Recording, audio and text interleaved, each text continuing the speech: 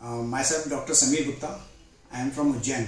I am a radiologist and uh, मैं यहाँ पंद्रह साल से प्रैक्टिस कर रहा हूँ in Khandelwal diagnostic centre she is my wife नमस्ते myself doctor Neha Gupta मैं एक डेंटिस्ट हूँ और पिछले पंद्रह साल से खंडेलवाल डेंटल क्लिनिक चला रही हूँ उज्जैन में इस वीडियो का मेन कारण है जनरेट करने का कि हमारा खंडेलवाल तकनीकी विकास समिति आयोजन कर रही है 25-26 मार्च 2023 को उज्जैन शहर के अंदर।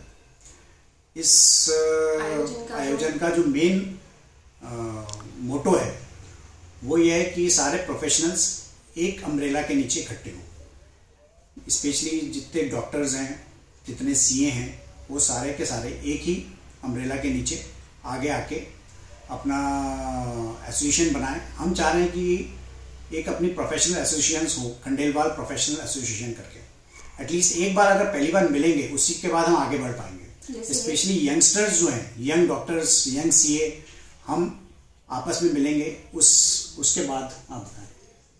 एसोसिएशन का मीनिंग हमें प्रोफेशनल लोगों को बहुत अच्छी तरह पता होता है।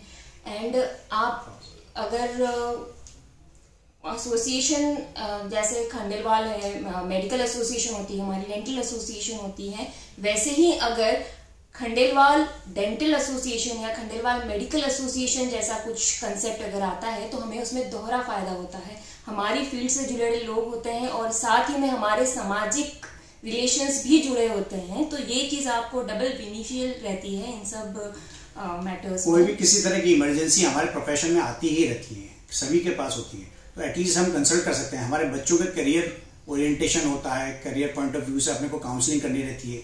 तो वी कैन डायरेक्टरी में अपन अपन देख लें कि दे आर कौन कौन कहाँ कहाँ पोस्टेड है तो we can at least ask them कई बार जैसे मैरिजेस करनी है तो हमें हमें कोशिश करते हैं कि प्रोफेशनल हो हमारे ही समाज की हो तो हमें बड़ी मुश्किलें होती हैं उनको ढूँढने के लिए।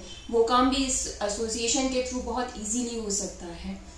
ये एक पहला कदम है।